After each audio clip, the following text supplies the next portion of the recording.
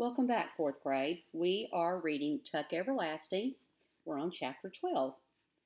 The sky was a blaze of red and pink and orange, and its doubled tremble on the surface of the pond like color spilled from a paint box. The sun, the sun was dropping fast now, a soft red sliding egg yolk, and already to the east there was a darkening to purple.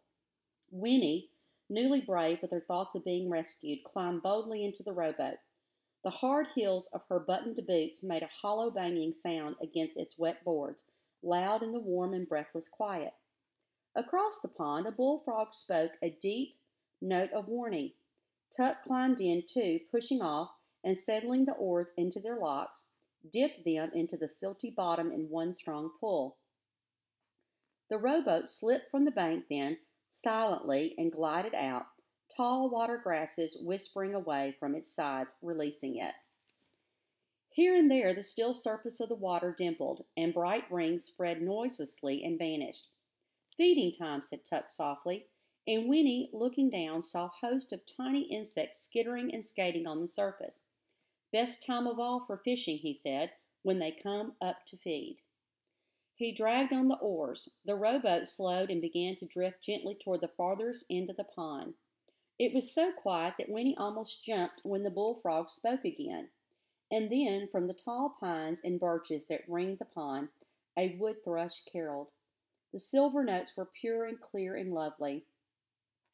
Know what that is all around us, Winnie? said Tuck, his voice low. Life. Moving, growing, changing, never the same two minutes together. This water, you look at it every morning and it looks the same, but it ain't. All night long it's been moving, coming in through the stream back there to the west, slipping out through the stream down east here, always quiet, always new, moving on. You can't hardly see the current, can you? And sometimes the wind makes it look like it's going the other way, but it's always there. The water's always moving on, and some day, after a long while, it comes to the ocean.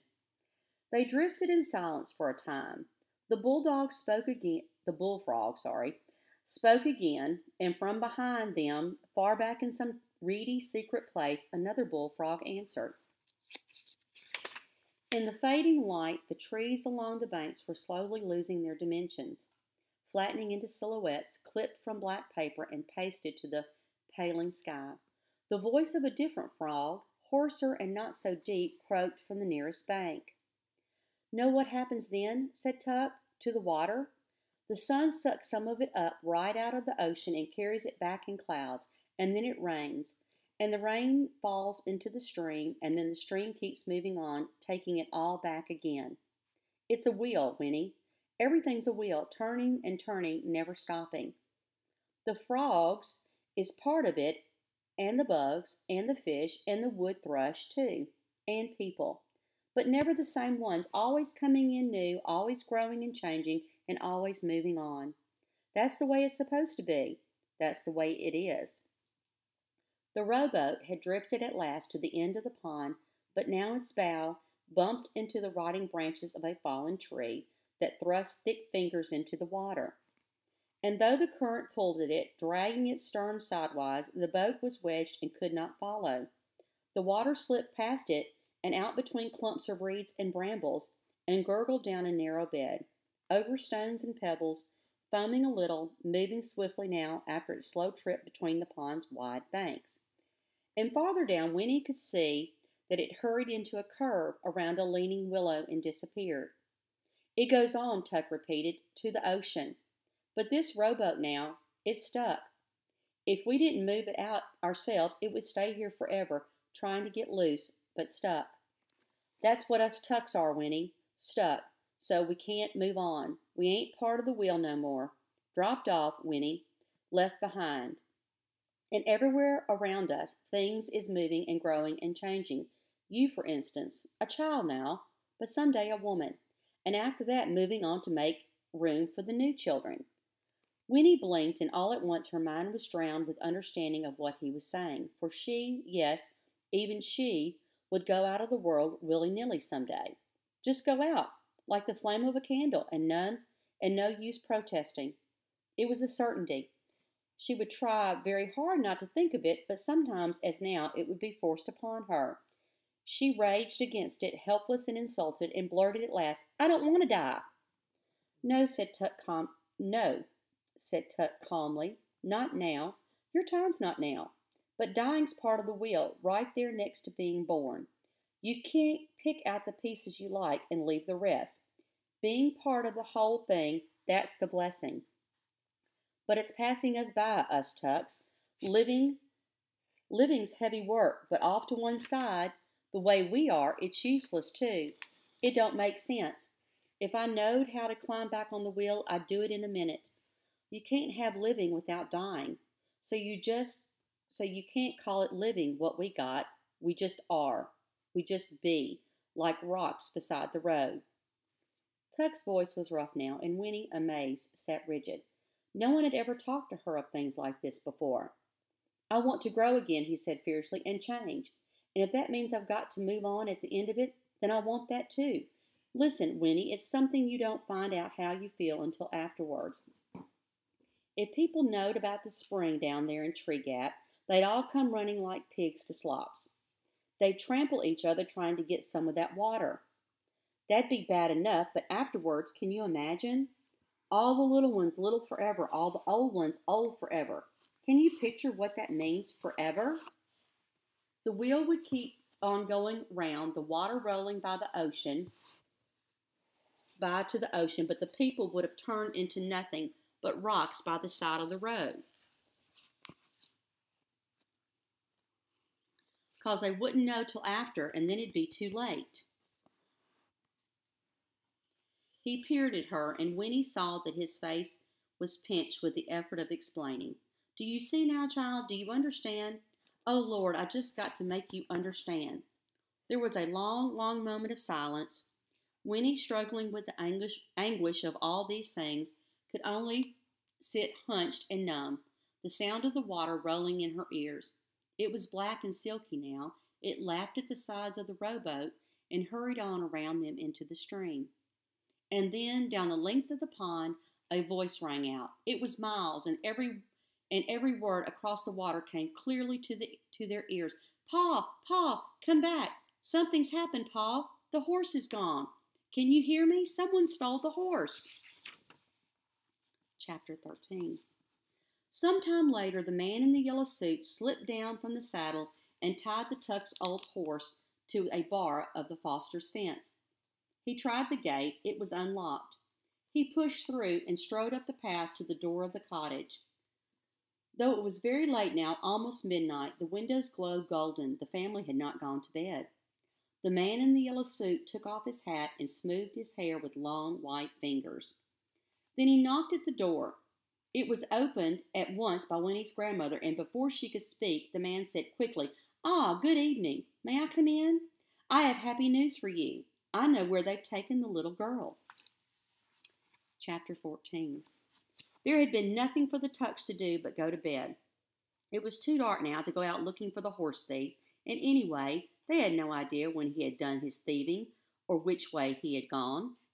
That beats all, though, don't it, Pa? said Jesse, coming up to a person's house and stealing their horse right out from under their nose. I got to give you that, said Tuck, but the question is was it just some ordinary thief, or was it someone that had some special reason? I don't like it.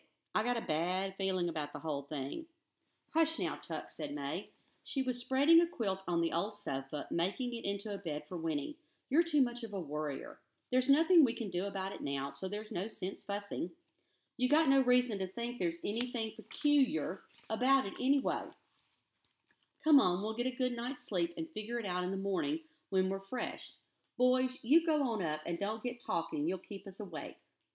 Winnie, child, you bed down too. You'll sleep first rate on that sofa here. But Winnie did not sleep at all, not for a long, long time. The cushions of the sofa were remarkably lumpy and smelled like old newspapers, and the chair pad Mae had given her for a pillow was thin and hard and rough under her cheek. But far worse than this was the fact that she was still in her clothes, for she had firmly refused the offer of Mae's spare nightgown when its seeming miles of faded cotton flannel. Only her own nightgown would do, and the regular bedtime routine without them, she was painfully lon- lonely for home.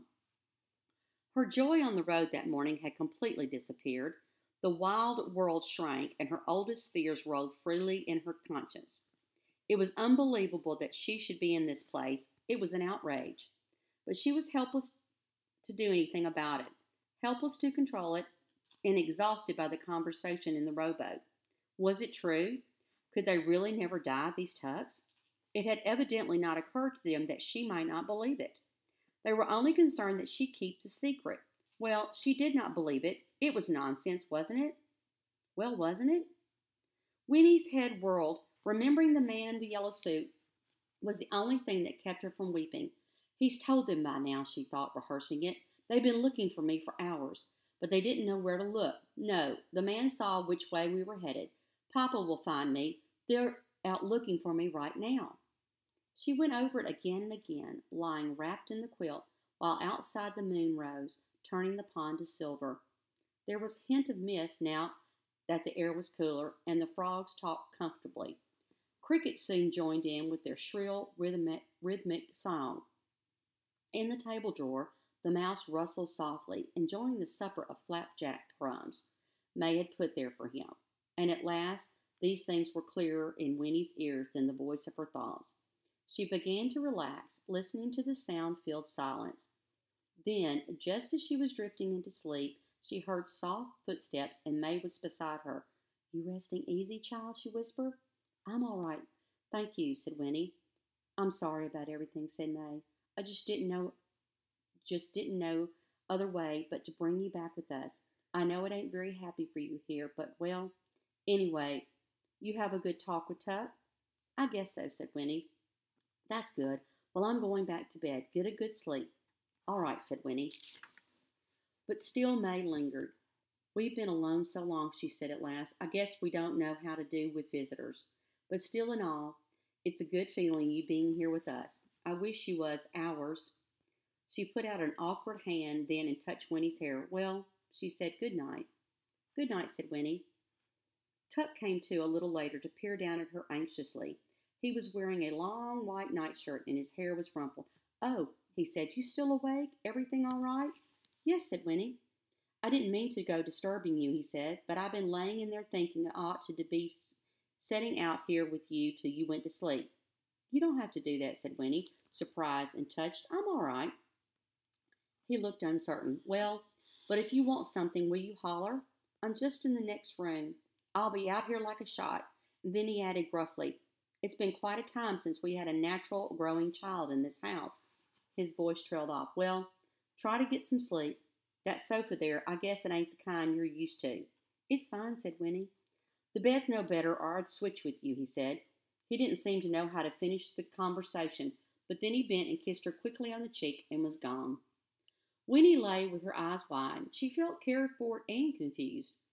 And all at once she wondered what would happen to the Tucks when her father came. What would he do to them? She would never be able to explain how they had been with her, how they made her feel. She remembered guiltily that after supper she had decided they were criminals.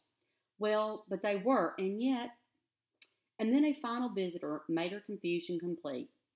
There was a creaking on the loft stairs, and Jesse was looking down at her, very beautiful and eager in the faint blue moonlight. Hey, Winnie Foster, he whispered, you asleep? This time she sat up, pulling her quilt around her in sudden embarrassment, and answered, No, not yet.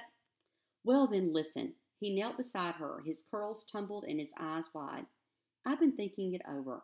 Pa's right about you having to keep the secret. It's not hard to see why. But the thing is, you knowing about the water already and living right next to it so you could get there any time. Well, listen, how'd it be if you wait till you're 17, same age as me, heck, that's only six years off, and then you could go and drink some, and then you could go away with me. We could get married even. That'd be pretty good, wouldn't it? We could have a grand old time, go all around the world, see everything. Listen, Ma and Pa and Miles, they don't know how to enjoy it, what we got. Why, heck, Winnie, life's to enjoy yourself, isn't it? What else is it good for? That's why I say. That's what I say. And you and me, we could have a good time that never, never stopped.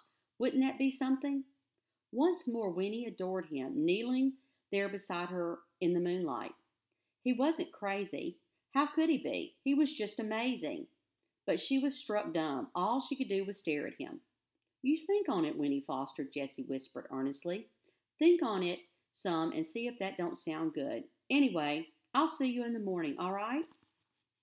All right, she managed to whisper in return. She slipped away then, back up to the creaking steps. Oh, he slipped away then, back up the creaking steps, but when he sat upright, wide awake, her cheeks burning. She could not, not deal with this remarkable suggestion. She could not think on it, for she didn't know what to believe about anything. She lay down again finally and stared into the moonlight for another half hour before she fell asleep. I will see you soon with chapter 15.